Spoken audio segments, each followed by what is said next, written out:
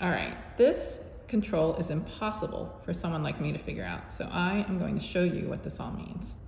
The top um, circle thing with the clock on it means it is on in automatic mode. 12.07 p.m. is the time and um, today is Friday and PO1 means program one. Um, that means that it is actually the next program that's gonna like impact what happens to my lights outside is program one off.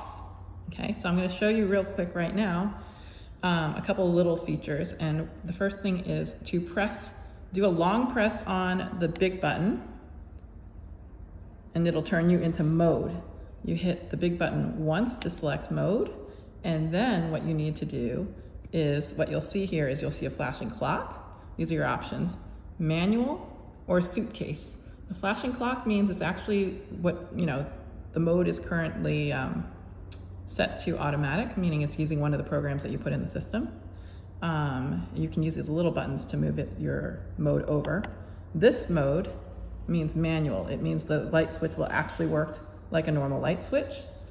And press one more time. And this is the vacation mode. Vacation. If you've turned it to vacation mode and you hit mode, hit the um, big button again to select it, it's going to randomly turn your lights on and off so people kind of think someone might be home.